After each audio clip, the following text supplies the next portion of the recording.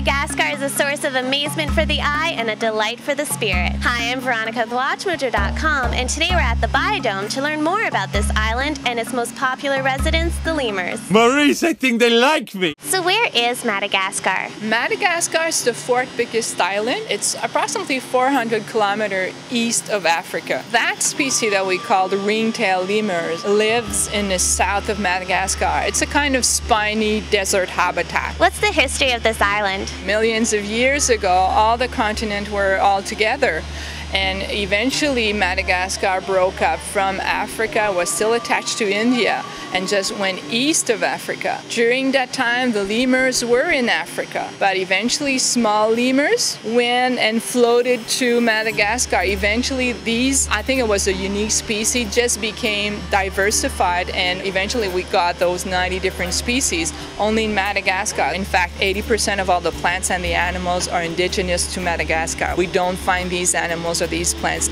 nowhere else in the world. These lemurs have a great tail. What are they used for specifically? In fact, it's the only lemur that has a ringtail, so it identifies first the species. Then when they're on the ground and they're in the vegetation, their, their tail rises like a flag, so they know where the rest of the group is. Otherwise, when they're sleeping like they're doing right now, they use their tail as a scarf. Also, they jump. They can jump three, four, five meters long, so they use their tail as a balance.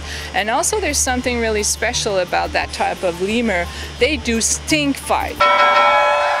I've never seen that in other animals. In fact, the males, they have glands on their body, on the wrist, on the shoulder, and on the behind. So they will just put odor on their tail, just put their tail on top of their head and wag their tail. So there's a lot of odors. We don't smell it, but those primitive primates have a good sense of smell. So there's a lot of information going on that way. What are the predators of the lemurs? In the natural habitat, there's a fossa. A fossa!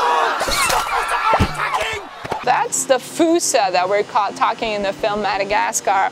In fact, fossa is the size of a cat and he's one of the predator, uh, main predator of the lemurs, not just the ringtail lemurs, but any type of lemurs. Also, you will have the birds of prey, and also human beings could be one. What are some other species that are only found in Madagascar? We have a boa, we have a few insects, we have chameleons. They're fascinating animals. Geckos, different types of fish and frogs. It's interesting to see these animals, especially that you know that they're not found nowhere else in the world. They're endemic to Madagascar. Thank you very much. You're welcome.